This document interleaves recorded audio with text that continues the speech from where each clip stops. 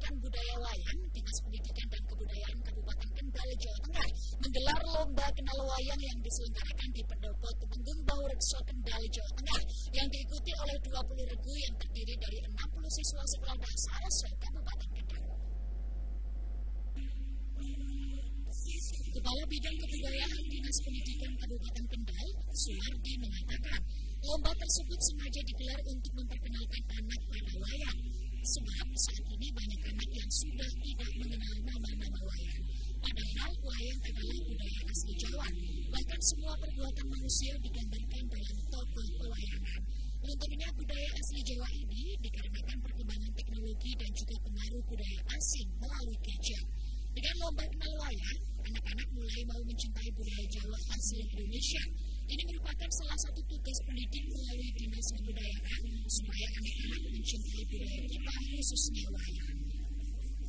Harapan kami adalah orang yang atau menunjukkan karakter Jawa tentunya kami dari pendidikan dan kebudayaan dari bidang pendidikan harapan kami adalah bisa menunjukkan latar-latar baik dari kata-kata wayang ini. Peserta terdiri dari siswa sekolah dasar yang sudah lolos seleksi di tingkat kecamatan. Dalam satu kecamatan mengirimkan satu regu yang terdiri dari tiga anak-anak. Nantinya akan diambil juara satu, dua, dan juga juara tiga. Salah satu siswi dari SD Negeri Kedung Sari Kecamatan Jawa merupakan juara satu masuk final mengatakan kalau persiapan belajar selama satu bulan. Selain itu, ia juga senang dengan cerita dan tokoh pewayangan.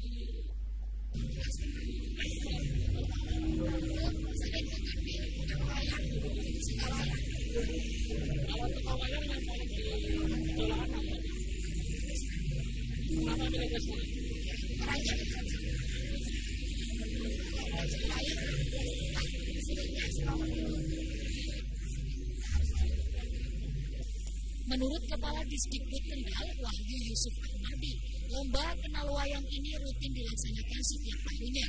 Hal ini bertujuan untuk melestarikan budaya dan menumbuhkan karakter pada siswa, sehingga siswa bisa meneladani tokoh, karakter wayang, dan alur cerita pada kisah pewayangan.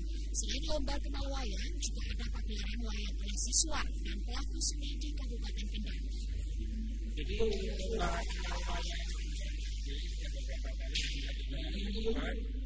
kemudian ini kita laksanakan dalam rangka untuk memberi wayang nasional yang kami tanggal 7 November